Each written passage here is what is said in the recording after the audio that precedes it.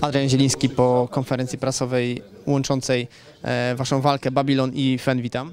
Cześć, cześć, witam wszystkich. Powiedz przede wszystkim, no to jest takie bardzo ogólne pytanie na początek, ale e, właśnie co ty sądzisz jako, jakbyś się miał postawić w roli fana właśnie, miałbyś oglądać wasz pojedynek, taka właśnie konfrontacja pomiędzy e, mistrzami dwóch organizacji, jakbyś na to patrzył?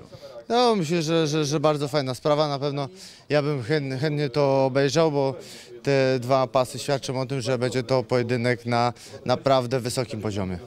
Powiedz, e, no do tej pory ośmiu rywali mm, z rzędu nie, nie znalazło receptury właśnie na, na Rudka i co, co ty sądzisz jakby o Danielu, czy analizowałeś już e, jego styl, miałeś już podobnych rywali, no w, w ACA zapaśników troszkę ich było.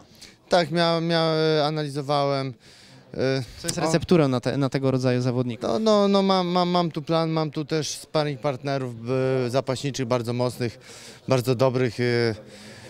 Jestem przygotowany, tak że pr- praktycznie większość moich walk się cały czas to samo trenuje obrony, no i to jest akurat będzie dobry rywal, żeby, żeby, żeby, sprawdzić jak, e, czy, czy, czy, czy się rozwinąłem, a też no ja też miałem 7 walk pod rząd wygranych, tak? I potem miałem 3 pod rząd przegrane, także, także to, to, to o niczym nie świadczy. Mhm. A powiedz, e, jak ty się zapatrujesz jako zawodnik z kolei właśnie na to połączenie, bo to rodzi właśnie zupełnie nowe możliwości, e, więcej pojedynków, e, no jak, powiedzmy takie ciekawsze, bo zmiana jakiegoś tam powiedzmy środowiska, otoczenia i e, myślę, że to urozmaicenie jest duże dla ciebie. No tak, no, no bardzo na, na, na, na plus to od razu stwarza możliwość do, do, do częstszych pojedynków, do, do, do, do, do, do, do bogatszej gamy y, zawodników, przeciwników, tak? Także no tu widzę tylko same plusy i, i no nic, cieszę się tylko, że jestem tego częścią.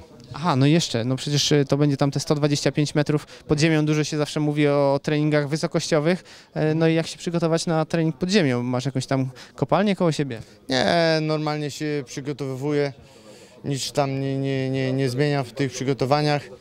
No, no, no zobaczymy, no to i dla mnie takie same warunki będą i tak dla, dla Daniela, także, także wszystko to, to, to wyjdzie w praniu. Dobrze, bardzo dziękuję w takim razie.